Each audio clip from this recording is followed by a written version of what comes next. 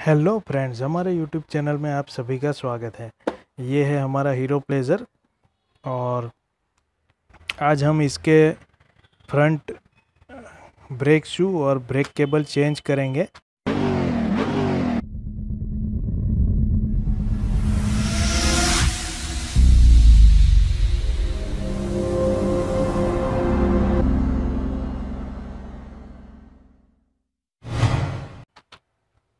देखिए, जाम हो गया है। दबाने के बाद वहीं पे अटक जाता है और बहुत ही हार्ड है। हमारे यहाँ ओरिजिनल पार्ट्स इजीली अवेलेबल नहीं है। ये लोकल ब्रांड है, लेकिन काम चल जाता है। ये दोनों लोकल है। दोनों मिला के मुझे ऑलमोस्ट दो सौ रुपये में मिले।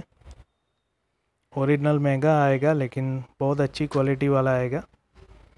तो इसके लिए हमें सबसे पहले दोनों मिरर निकालने होंगे।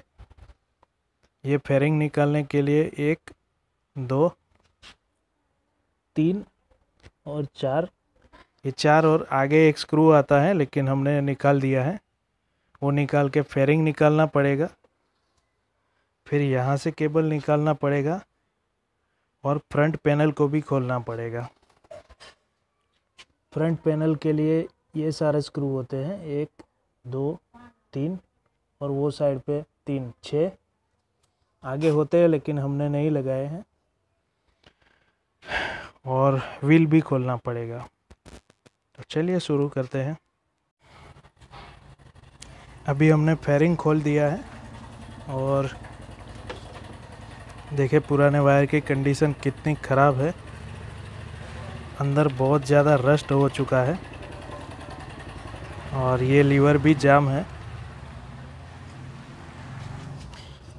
नीचे से हमने ब्रेक केबल खोल दिया है। आसान है।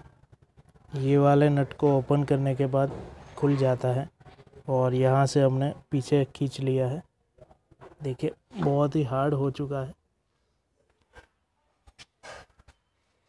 अभी यहाँ से निकालेंगे हम पुराना केबल, उसके बाद नया केबल यहाँ से लगाएँगे और उसके बाद फ्रंट पैनल को खोलेंगे। केबल इतनी बुरी तरह से जाम था कि यहाँ से खींच के नहीं निकल रहा था तो हमें लीवर खोल के निकालना पड़ा। अब आगे का रास्ता तो हमें आसान लगता है। बिना फ्रंट पैनल खोले मैं ट्राई कर रहा हूँ, नया केबल यहाँ पे लगा दूँगा टेपिंग करके और नीचे से खींच लूँगा। तो पुराने केबल की जगह पे ही नया केबल आ जाएगा। हमने पुराने केबल और नए केबल के बीच में बहुत सारी टेप लगा दी है और अब हम नीचे से खींच के ही नए केबल को लगा देंगे पुराने केबल की जगह पे। फ्रंट पैनल को खोलना नहीं पड़ेगा।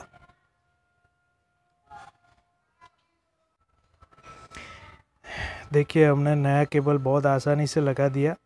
लगभग आधे घंटे का टाइम बचा लिया, फ्रंट पैनल ना खोलने के वजह से। यह है पुराना केबल। और अब हम यहाँ पे लगाएँगे और ब्रेक लीवर भी लगाएँगे।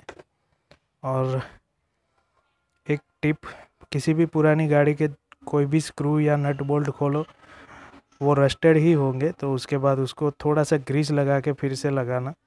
ताकि अगली बार खोलने में आसानी रहे। अब हम यहाँ पे लीवर लगाएँगे, ये वायर लगाएँगे और फेरिंग को फिक्स करेंगे। फाइनली हमारा लीवर लग चुका है अपनी जगह पे और बहुत ही स्मूथ है। अब हम फेरिंग और मिरर को फिक्स करेंगे, उसके बाद जो भी नीचे का काम है वो सब करेंगे। ऊपर का सारा काम हमारा कंप्लीट हो चुका है। अब हम ये वाला नट खोल के आगे का व्हील खोलेंगे और ब्रेक शू चेंज करेंगे। ड्रम हमने खोल दिया है, इसकी हालत अच्छी नहीं है, इसको हम क्लीन करेंगे। ये नए वाले ब्रेक शू और ये पुराने वाले।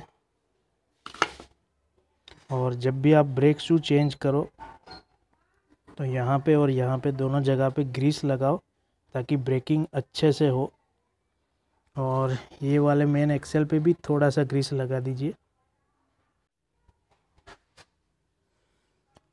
फाइनली हमारी गाड़ी रोड पर चलने के लिए रेडी है।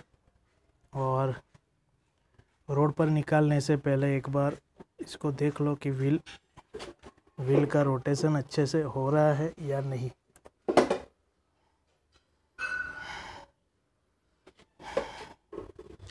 तो इस तरह से आप अपने घर पे भी ब्रेक का सर्विसिंग कर सकते हैं।